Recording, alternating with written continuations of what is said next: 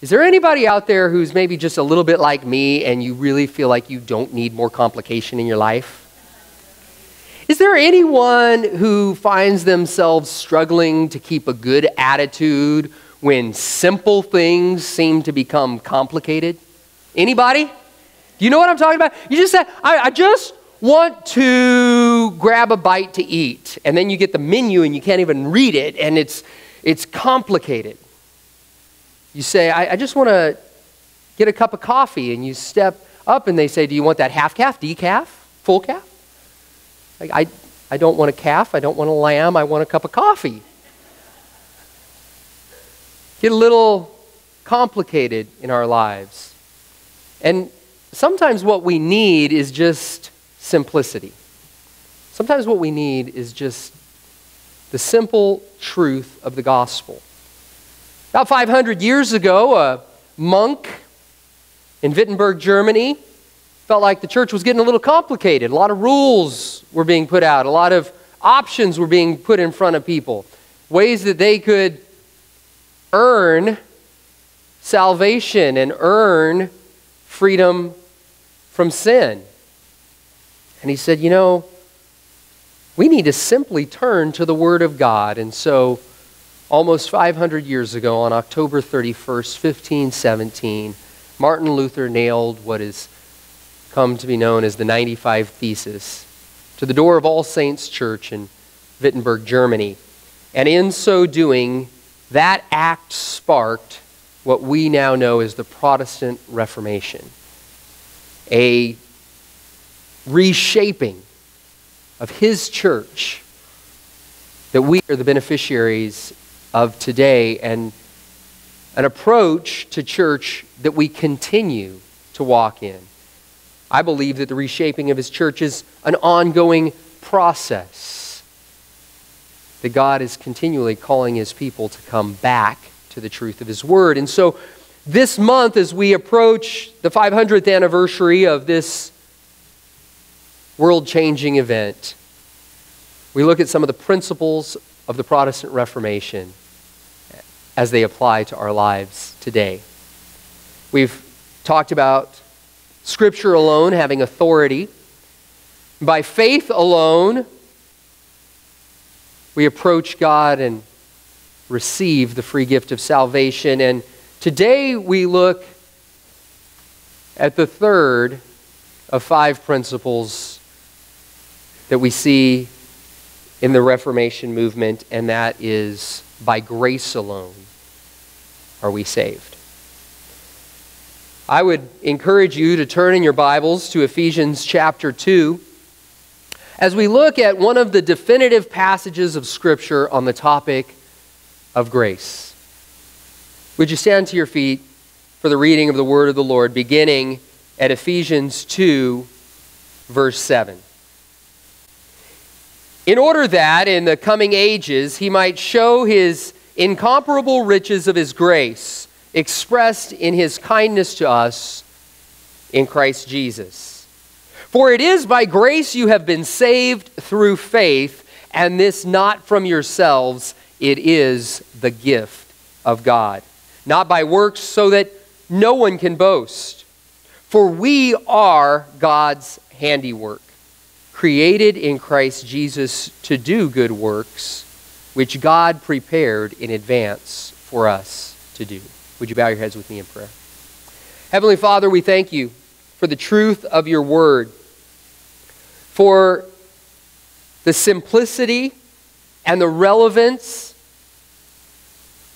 of Scripture that speaks to our hearts and lives today as it did to those in the church in Ephesus 2,000 years ago that calls us back to the foundation that you laid as you called back your followers 500 years ago to the biblical truth that it is by grace alone that we have eternal life. By your grace, may your truth not only penetrate our hearts and minds, but continue to reshape us, your church. in Christ Jesus' name. Amen. You may be seated. While our approach at Radiant Life Church is always biblically based teaching and preaching, this message series is inspired by the 95 Thesis that Martin Luther nailed to the church door in Wittenberg, Germany. And many of those theses were very specific to the church and the time in which Martin Luther lived and worshiped.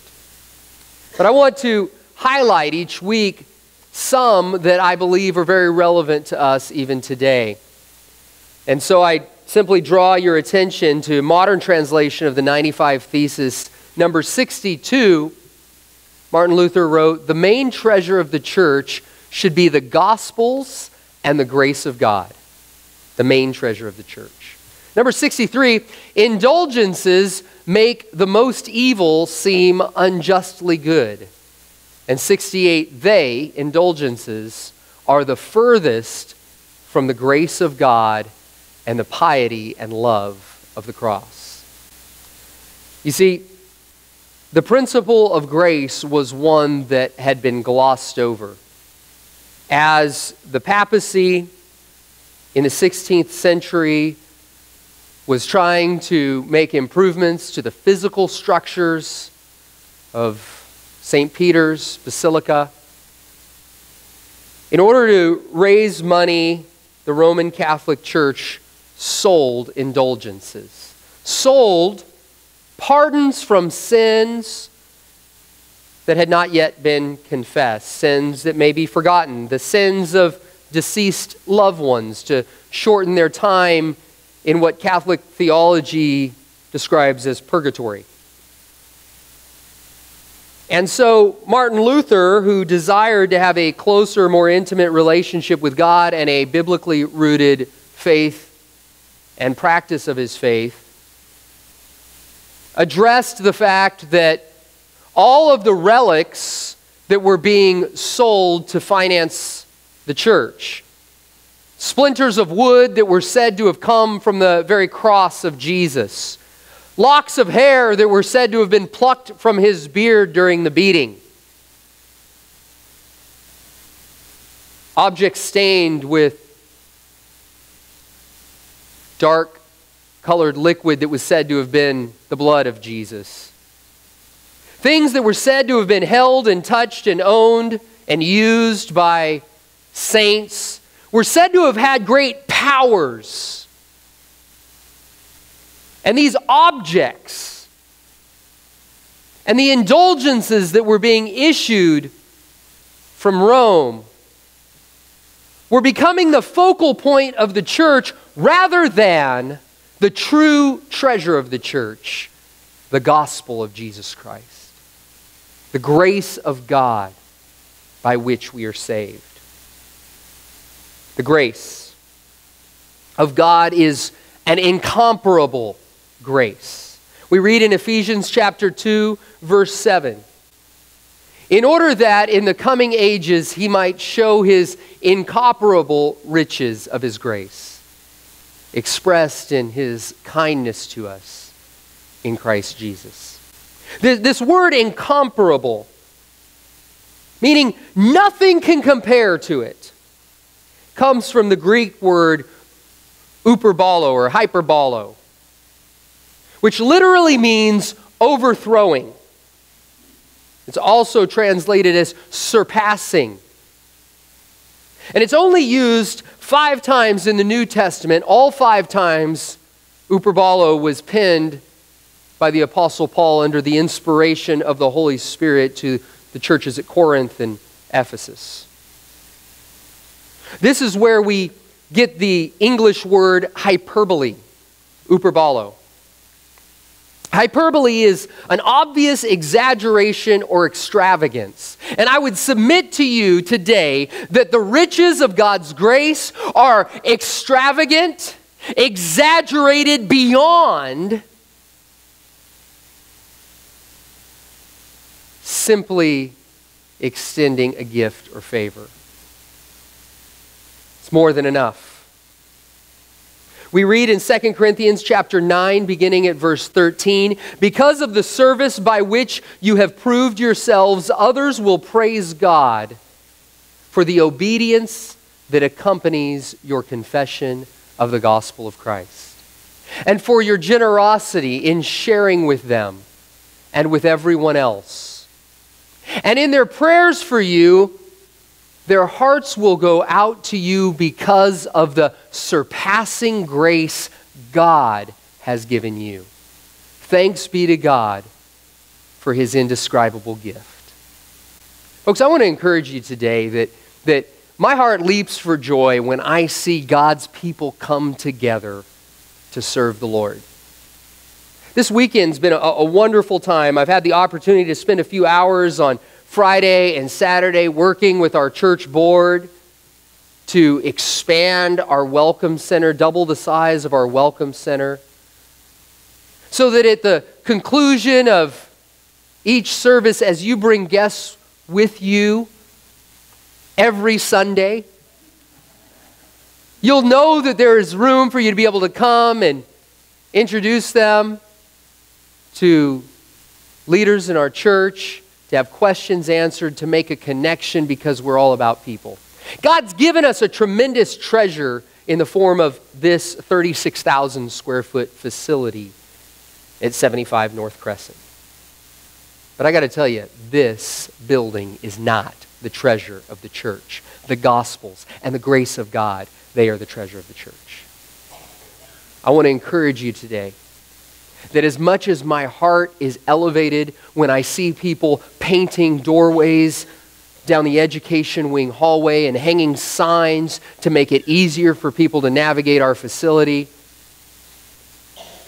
when I see Richard Barth, who every week volunteers his time, his talent, and his resources to mow our lawn and trim the bushes, my heart is encouraged by the acts of service, and I give glory to God, but it's not simply for the work that's being done, but because of the surpassing grace that God has given to those who serve. Because we serve not out of interest for what's in it for us, but out of gratitude for the grace that God has given to us. Thanks be to God for his indescribable gift. It's incomparable grace. Nothing compares. In 2 Corinthians chapter 12, beginning at verse 9, we read of the Apostle Paul speaking about his conversation with his best friend, Jesus. And in prayer, as the Apostle Paul approached the very throne room of God, Jesus spoke to his heart. In 2 Corinthians 12 9, we read, But he said to me, My grace is sufficient for you. My power is made perfect in weakness. Therefore, I will boast all the more gladly about my weaknesses, so that Christ's power may rest on me. That is why, for Christ's sake, I delight in weakness, in insults, in hardships, in persecutions, in difficulties. For when I am weak, then I am strong. Friends, I have to tell you, if you haven't received the grace of God, this passage of Scripture makes no sense. But if you have received the grace of God, then you can say a hearty amen to the fact that when we are weak, then we are strong because of His grace at work within us. His grace is sufficient for us. Now, this isn't the word hyperbolo or incomparable, surpassing grace. No, this is arkeo in the Greek. A grace that possesses unfailing strength, a grace that is satisfactory. So when we read, My grace is sufficient for you, Jesus said to one that he loved, what he's truly saying is, my grace comes with unfailing strength. My grace satisfies. Many times we think of sufficient as something almost dismissive. I mean, if your child comes home with their report card and they say, Look, I, I got, I got four A's and two B's. Or today, I got three ones and six fours, and you have no idea what that grading system is. Your kid comes home, they show you this report card, and you start reading the teacher's notes to try and make sense of what it really means.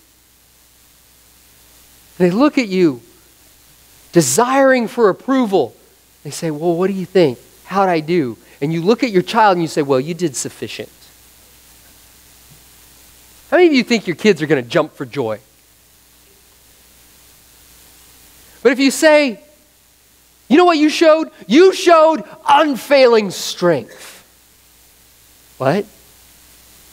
You know what? As your dad, as your mom, I want you to know I'm so satisfied with you. I'm so happy with you. You fill my heart with joy. When I look at your report card, it just reflects what I've always known to be true about you. And that is, you're a chip off the old block. now, what I've known to be true about you is that you're really great. See, God's sufficient grace says to you and to me, I have everything you need. And when I give it to you, you will want nothing more. That's his incomparable grace. There's nothing in this world that compares. His incomparable grace is also a humbling grace. We read in Ephesians 2 8 and 9 For it is by grace you have been saved through faith, and this is not from yourselves. It is the gift of God, not by works so that no one can boast. We, we live in a culture that likes to talk about taking pride in our work, taking pride in ourselves. And I have yet to find a passage of Scripture that uses that kind of language. But what I do find throughout Scripture is that God humbles the proud and he exalts the humble. You see, when we receive the grace of God, if we begin to think that we somehow deserved it, that we somehow earned it, that it somehow was about us, we miss the whole point. And I believe that God has the ability to turn the faucet off and say, Sounds like you've soaked up enough of my grace for right now. You're pretty full of yourself. But when you and I recognize the fact that we receive His grace not because of our own good works, not because of our own good deeds, not because of our popularity or how good we look, but we receive His grace simply because of Him. In fact, I'm going to take it a step further. We don't even receive His grace because of our faith. We receive His grace through our faith. Our faith, therefore, becomes the conduit through which His grace flows in our lives and out from us. And as long as we humbly receive His grace, He'll keep the faucet flowing so that his grace will flow through us. He's always looking for humble servants.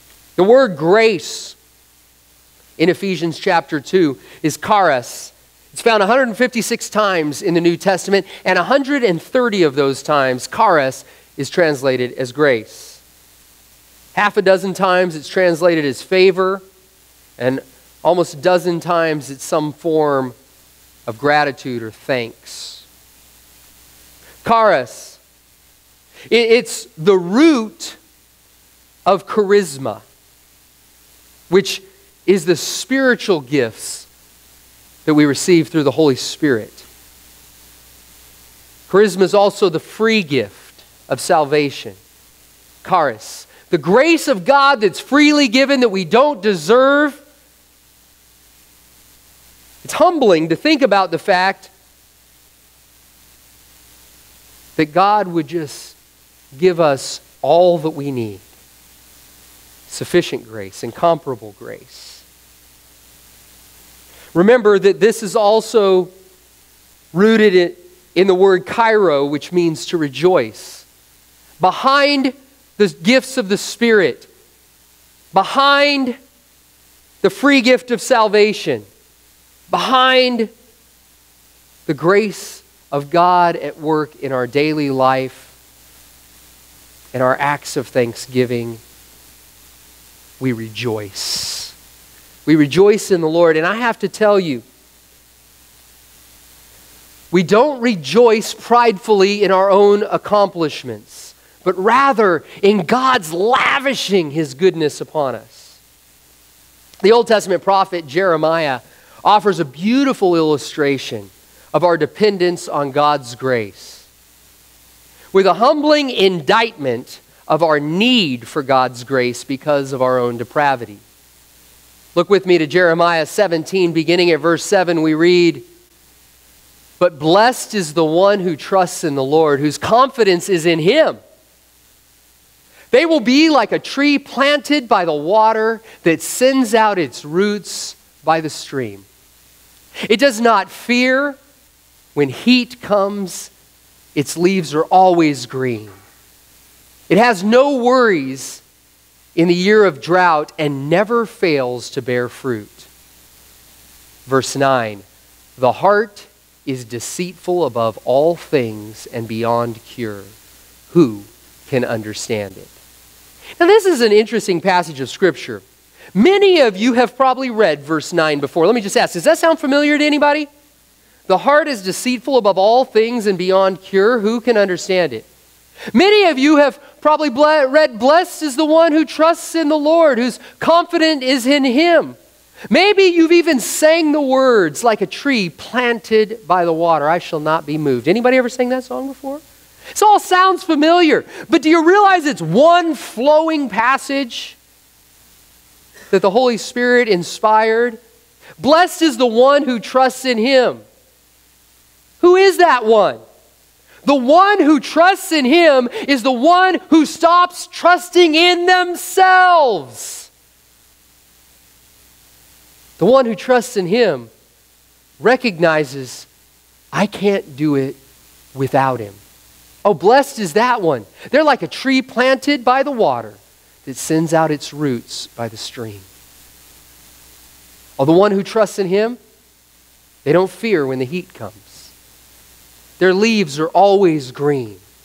Yeah, the one who trusts in him, oh, that one has no worries in a year of drought and never fails to bear fruit. The one who trusts in him is capable of enduring pain and hardship and waiting for God to deliver on his promises. The one who trusts in him sees God's promises fulfilled for God's glory. Amen. But the heart is deceitful above all things and beyond cure. Lest the one who trusts in him becomes self reliant and thinks that all that fruit, all those green leaves, somehow had something to do with themselves. See, the heart is easily deceived by the father of all lies. Who tells us you don't really need God, just as he told the first woman in the garden. If you eat from that tree, you'll be like God. And her husband said, That sounds good to me. And Adam and Eve invited sin into the world by their own choice to allow their deceitful hearts to distract them from God's grace. Friends, I don't want you to get down by the fact that we need God's grace. I believe God wants to lift, us up, and that's why he gives us his grace. In 1 Peter chapter 5, beginning at verse 5, we read, In the same way, you who are younger, submit yourselves to your elders. And all God's people said, Uh huh. In the same way, you who are younger, submit yourselves to your elders. All of you, clothe yourselves with humility toward one another, because God opposes the proud but shows favor to the humble. Humble yourselves, therefore, under God's mighty hand, that he may lift you up in due time. Cast all your anxiety on him, because he cares for you. He cares for you. So you can come to him in your brokenness. You can come to him in your anxiousness. You can come to him just as you are because he cares for you. In this passage of Scripture, you'll notice there's a phrase in quotation marks. That's a reference to Proverbs 3:34. God opposes the proud but shows favor to the humble. The word here for favor in the Greek is charis. It's grace. It's the same word that's translated as grace in Ephesians chapter 2. Charis. God shows grace to the humble. And if we humble ourselves before God's mighty hand, He will lift us up in due time. Amen? Amen. Friends, I want to encourage you. God doesn't show us His grace to pump up our pride. No, He shows grace to the humble to empower us to glorify and honor Him, His grace. His grace is not only incomparable grace, His grace is not only humbling grace, but His grace is empowering grace. I believe that's good news to you and me. We read in Ephesians 2:10, "For we are God's handiwork, created in Christ Jesus to do good works which God prepared in advance for us to do." There are many who struggle to reconcile grace and works. Many grab a hold of works-based theology and ignore grace. Many bask in grace and forget the very reason that God's word says he gives grace, which is that we might do good works which God prepared in advance for us to do. Let's unpack that just a little bit. In 2 Corinthians chapter 9 beginning at verse 6, we read, "Remember this: Whoever sows sparingly will also reap sparingly, and whoever sows generously will also reap generously. Each of you should give what you have decided in your heart to give, not reluctantly or under compulsion, for God loves a cheerful giver. And God is able to bless you abundantly, so that in all things, at all times, having all that you need, you will abound in every good work. I want to make sure you understand the context of this passage of Scripture. How many of you know context is important? Helps us understand what God's saying, what He was saying to those first readers, what He is saying to us today. The context of this passage of Scripture has specifically to do with financial giving. I have good news for you, friends. If you've ever heard this passage quoted just before an offering to help motivate you to give joyfully, I want to prepare you for what's coming up in this service, not an offering.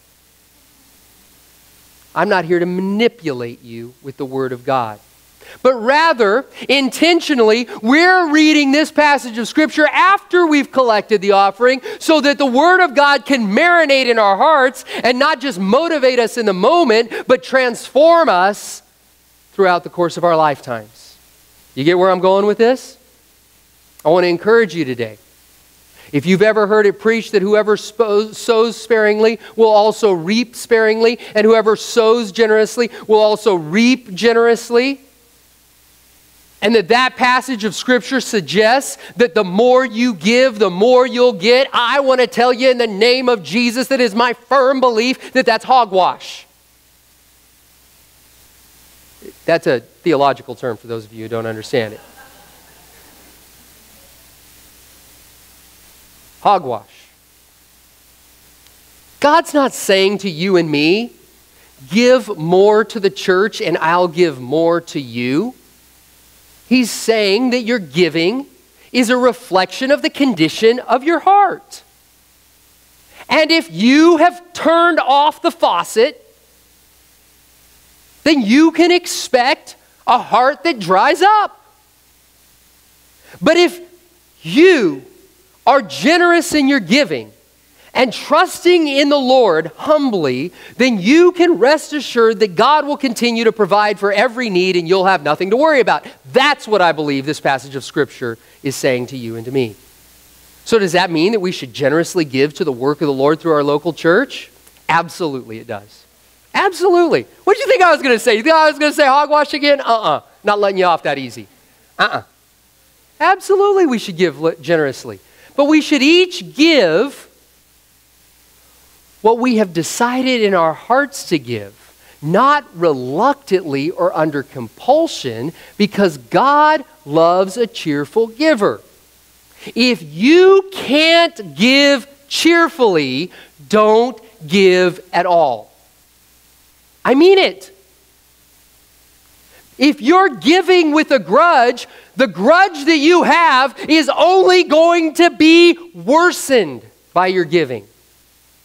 If there is already a wedge in your trust with God, everything you give is going to drive that wedge in deeper, and you are going to voluntarily separate yourself further and further from God rather than pulling the wedge out of the way and allowing the floodgates to open in your life. Give joyfully. I know some people have said if you can't give joyfully, give anyway. I'm not saying that to you today. Because I believe at the heart of giving, the root of charis is chairo, is joy. And I believe that God's grace is given to us that we might abound in joy. That's why he loves a cheerful giver. And God is able to bless. Charis, that's grace. God is able to bless or extend grace to you abundantly.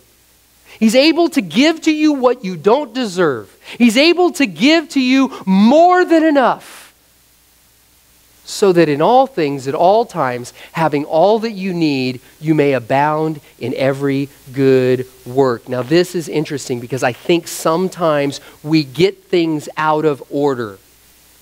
And we think if I do the right things, then I'm going to get what I want from God. If I have enough faith, then God will extend His grace to me. If I do enough good works, then God will extend His grace to me. I'm going to use that theological word again hogwash.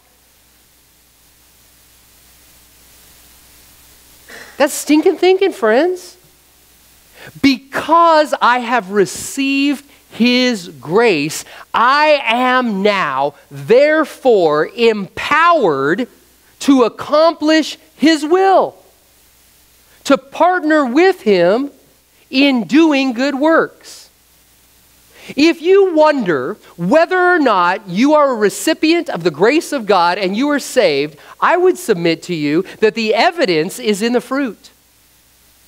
Are you like a tree planted near streams of water, trusting in God to provide, bearing good fruit?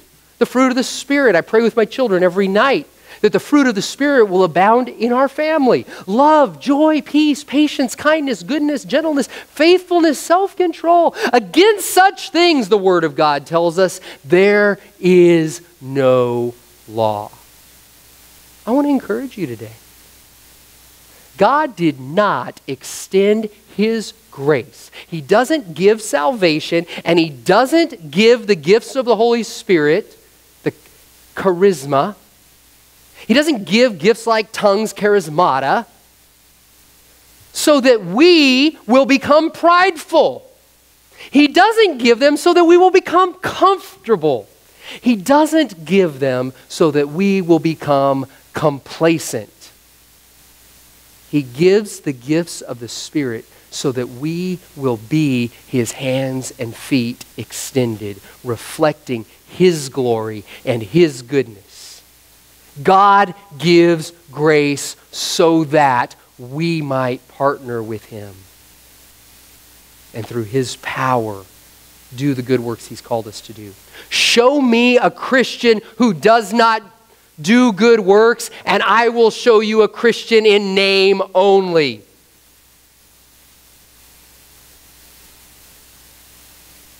It's awfully quiet in here. I'll move on. God requires nothing of us in order to receive salvation. However, He does have certain expectations of those who have accepted His free gift, His grace. Genesis to Revelation, the story is continual. The truth of God is the same yesterday, today, and forever through the person of Jesus Christ. And I believe that in Jesus Christ we have the fulfillment of Old Testament law. In Jesus Christ we have the fulfillment, not the abolishment. So the words of the Old Testament still speak truth into our lives today. The Old Testament minor prophet Micah answers the question what does God want us to do? What does God expect of us? In Micah chapter 6, verse 8, we read, He has shown you, O mortal, what is good. And what does the Lord require of you? To act justly, love mercy, and to walk humbly with your God. I think this is a simple, straightforward description of the very good works that God prepared in advance for you and me to do. To act justly, to be fair in our dealings with other people, not to swindle people, not to elevate our needs above the needs of others, but to act justly, to love mercy, not to only give people what they deserve, but to give them more than they deserve. Why? Because we are the recipients of His grace and His mercy. We've already received more than we deserve. And in response to that, what does the Lord require you and me, who have already received Christ Jesus, to do? To act justly, to love mercy, and to walk humbly with our God. The implication here is to remain in a state of humility. How many of you remember the turning point in your life when you made a decision to follow Jesus, when you began to identify yourself as a follower of Jesus? Do you remember that day? Many of us do. I have to confess to you that I can remember turning back to God a number of times. I was very young when I first made a profession of faith in Jesus Christ. My children are very young. I remind them what that day was like. I was there with them. For them, it was nearly at the beginning of time. For me, it wasn't that long ago. But God desires for you and me to remain in a state of humility. He empowers us to act justly, love mercy, and walk humbly with him. You see that dependence right there? The words of the minor prophet Micah are true for you and me today, as are the words of Hebrews chapter 4, beginning at verse 14. Therefore, since we have a great high priest who has ascended into heaven, Jesus, the Son of God, let us hold firmly to the faith we profess. For we do not have a high priest who is unable to empathize with our weaknesses. But we have one who has been tempted in every way just as we are, yet he did not sin. Hebrews 4:16 continues, "Let us then approach God's throne of grace with confidence, so that we may receive mercy and find grace to help us in our time of need." Radiant Life Church, I want to encourage you that you and I can approach the throne of grace with humble confidence, not prideful confidence. We can approach the throne of grace not confident in how ready we are, not confident in how good we are, not confident in how faithful we are, not confident in how prepared we may be, but know we can approach the throne of grace humbly in confidence that He will deliver on every promise He has made, that we may receive His mercy and find grace to help us in our time of need. I don't know about you, but I need Him all the time. I need Him all the time. Today, I wonder if you've bought into the lies of the enemy that somehow your best days were behind you. That the good works God had prepared in advance for you to do are now in the rearview mirror. That you've done your part, you've paid your price. I want to tell you, nothing you do is enough, and never will be but he did enough. Our high priest, who knew the temptation that we now know,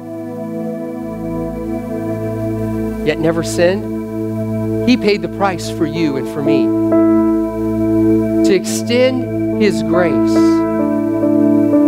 And I believe with everything in me, Radiant Life Church, that he did it because of his great love for us. He extended His grace, and His grace alone saves us. His grace alone is incomparable. His grace alone humbles us without leaving us worthless, and His grace alone empowers us through the Holy Spirit to accomplish the good works which He prepared in advance for us to do. I'm so grateful for the many who have committed themselves to caring for those in need in our community offering prayers and bags of groceries through our food pantry. I'm so grateful for the many who participate in life groups in our church to share the needs of those that are part of our church family, to bear one another's burdens, to lift them up. I'm so grateful for the many who serve today and have served in our church leadership so that we can continue to move forward and accomplish God's will in this community.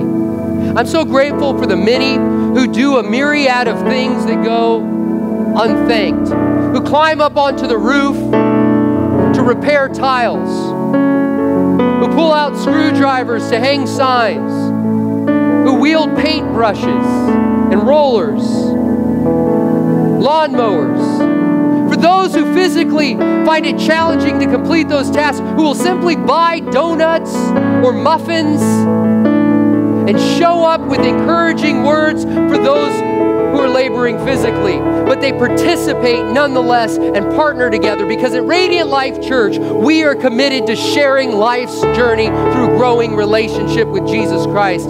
This, my friends, is a shared journey of grace.